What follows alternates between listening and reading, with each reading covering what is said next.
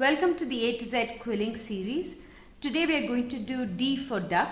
Now to make a quill duck you need two yellow strips of quill, quilling paper 15 inches long, one red strip 3 inches long, a ruler to measure all of this out.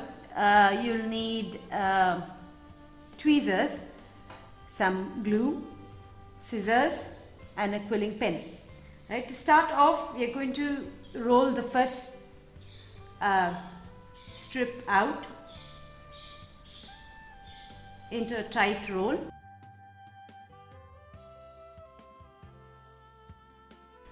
Take the roll off and let it loosen out as much as you want to. Now this is for the head. So I'm going to kind of keep it a little tight. I don't want it to loosen up too much, right? And uh, we're going to then glue it so that it stays in place.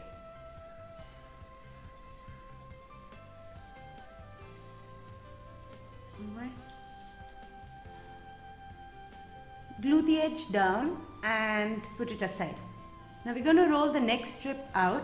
Only this one we are going to keep a little loose in tension as we are rolling because we want it to open out a lot more than the first one.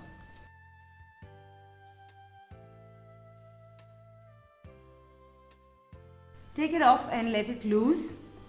And this one, see, it's opened up nice and big. Now I want to keep it a little springy and big, so I'm going to leave it at that. Pick it up gently and now glue it down again.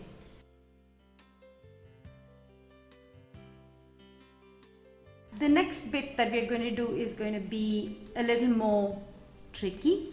So what we're going to do is we're going to take the edge or find we're going to take the center of that right?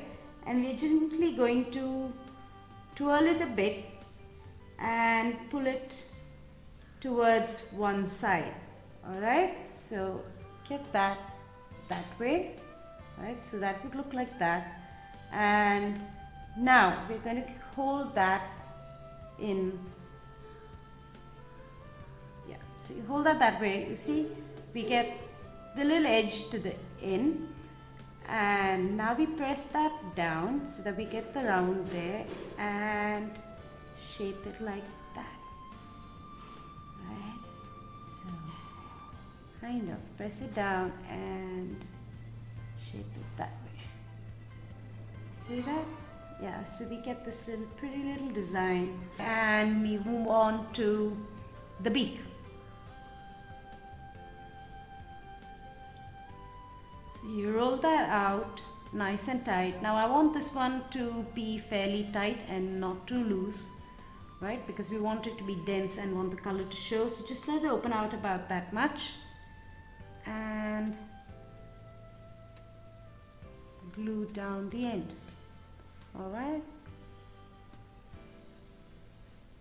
Now to make the beak you have to make a triangle out of this little one that we made. So you're going to squeeze it down at one point here and squeeze it from the top. All right? So squeeze down at one end squeeze from the top and what you get is a pretty little triangle. So now we put together our duck right? So now here's what our duck is going to look like all right? So now we're going to stick this and put this all together. So we take the little round that we made put in some glue at one one end right? And gently stick it to the body. Now you take the beak. So put in some glue on the beak.